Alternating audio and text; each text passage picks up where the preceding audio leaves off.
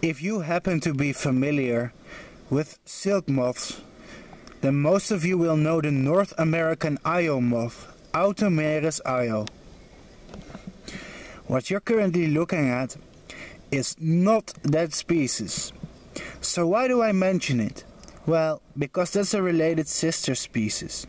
And it very much looks like this one. What you're looking at are young Automeris draudtiana from Mexico and uh, Automeris draudtiana is a species that was thought to be first a subspecies of Automeris io, the io moth, but it turns out, at least to what scientists currently think, it's just a separate species, the Automeris draudtiana.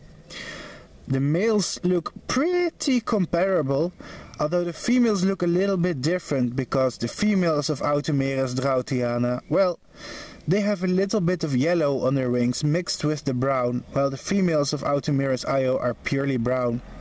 Automeris io is a North American species, while Automeris draudtiana is a Central American species that occurs in Mexico.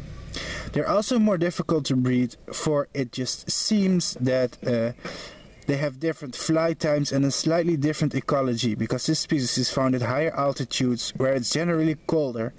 So this is not a species that you must keep warmer than uh, 20 to 25 degrees Celsius and it prefers being cool. I hope to raise, the, raise these with success so I can show you on YouTube the differences between Automeris io and Automeris draudtiana. Thanks for watching.